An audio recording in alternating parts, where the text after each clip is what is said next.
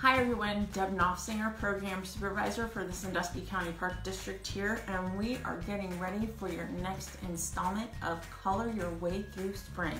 Today I thought we'd keep it super simple, uh, and since the weather's been warming up here and there, I've been seeing these fluttering around, and if you guessed we're gonna make a butterfly today, then you are correct.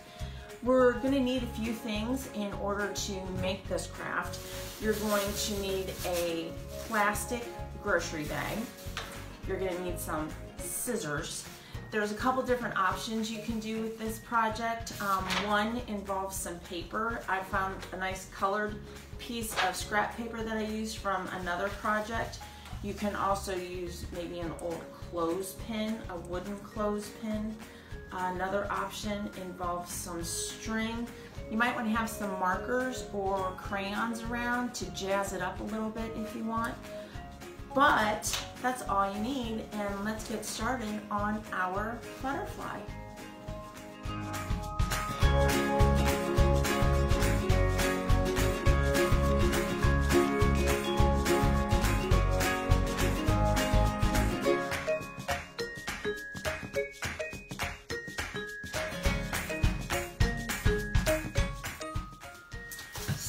So here is my finished projects.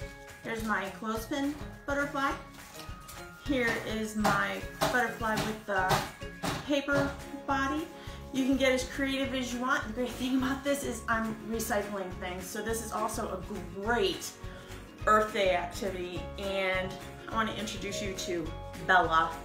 You probably saw her poking her nose in there during the uh, craft making. So thanks to everybody and see you next time.